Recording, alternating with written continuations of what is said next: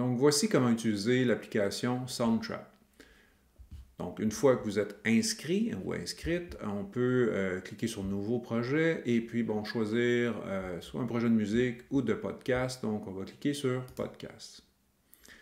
Une fois dans Podcast, on va ajouter une nouvelle piste et puis, bon, choisir euh, voix et micro pour pouvoir enregistrer sa voix. Euh, vous avez la liste de vos micros euh, qui sont disponibles ici. Donc, je vais choisir ce micro. Donc, je peux ensuite euh, cliquer sur Lancer l'enregistrement pour enregistrer ma voix. Donc, bienvenue dans ce balado qui présente l'outil Soundtrap. Je vais avoir maintenant ma bande son que je vais pouvoir écouter avec les boutons pour enregistrer ma voix. Donc, bienvenue dans ce balado qui présente l'outil Soundtrap. Maintenant, bon, un peu comme euh, tous les autres outils, bon, on peut réduire euh, cette partie-là, donc on peut réduire la taille, donc enlever des choses qui euh, ne sont pas nécessaires. Donc, bienvenue dans... Donc, bienvenue dans ce balado. Bienvenue dans ce balado qui présente l'outil Soundtrap. Maintenant, je peux ajouter une deuxième piste. Donc, ma deuxième piste va être, euh, je peux euh, identifier un des éléments qui sont ici, ou je pourrais simplement euh, prendre le même le mic comme, comme tel. Et aller dans les boucles. Donc, les boucles sont disponibles dans le petit onglet Musique ici. Donc, j'ai différentes boucles qui sont accessibles.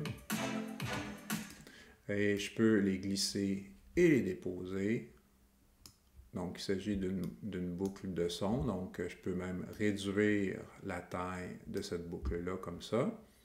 Puis, ben, je vais avoir euh, mon petit balado.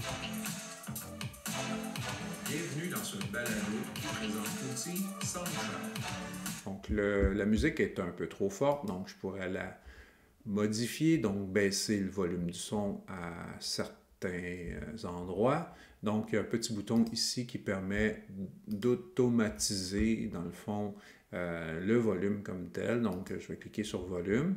Et de là, ben, je vais pouvoir ici identifier des petits points sur euh, ma bande son et puis lui dire, ben, j'aimerais ça que tu euh, réduises le volume à ce moment-ci, comme ça. Puis, voilà. Donc, je vais réécouter qu'est-ce que ça donne? Bienvenue dans ce balado qui présente l'outil Soundtrap. Et donc, je peux ici revenir jouer sur ça pour avoir euh, vraiment un son qui euh, me plaît. Une fois que mon balado est terminé, je peux maintenant partager mon balado en cliquant sur Fichier, Exporter, MP3. Et donc ici, je vais pouvoir avoir mon fichier MP3 qui est téléchargé sur mon disque.